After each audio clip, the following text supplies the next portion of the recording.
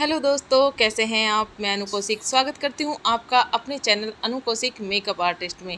कैसे हैं आप लोग? आज मैं आपको मेरी डमी पे एक हेयर स्टाइल बताने जा रही हूँ।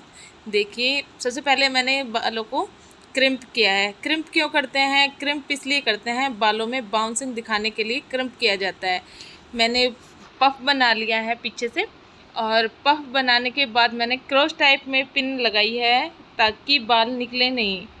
तो इसके बाद मैंने साइड पार्टीशन करके ट्विस्ट करके ये बन बनाया है। और ट्विस्ट करके भी बहुत अच्छा हेयर स्टाइल बन सकता है।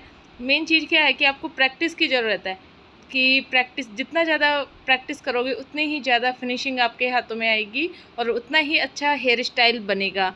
और फिर स्प्रे करके मैंने पीछे से टक कर दिया है बालों को। ठीक है जी? और उसके बाद इस पर मैंने थोड़ा सा हेयर स्टाइल को अच्छा दिखाने के लिए मेरी डमी को टीका पहनाया है और सारे बालों को, देखो मैंने जूड़ा नहीं बनाया है, मैंने सारे बालों को कर्ल्स किया है क्योंकि कर्ल्स में काफ़ी अच्छी लग रही थी तो कर्ल्स इसके पीछे आप जूड़ा भी बना सकते हैं। ने नेक्स्ट हेयर स्टाइल पे मैं आपको जूड़ा बना के दिखाऊँगी। इसी हेयर स्टाइल पे मतलब आगे से जो फ्रंट का हेयर स्टाइल यही रहेगा, पीछे से आप जूड़ा भी बना सकते हैं।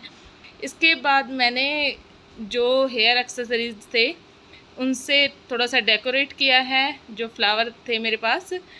तो अगर आप चाहें तो लगा सकते हैं, और अच्छा ना लगे तो स्क्रिप भी कर सकते हैं, ना लगाएँ। और बताइए आपको कैसी लगी ये वीडियो और मेरे चैनल को लाइक शेयर सब्सक्राइब कीजिए। प्लीज़ फ्रेंड अपना साथ यूँ ही बनाए रखें। मिलते हैं कल एक नई वीडियो के साथ। थैंक यू दोस्तों।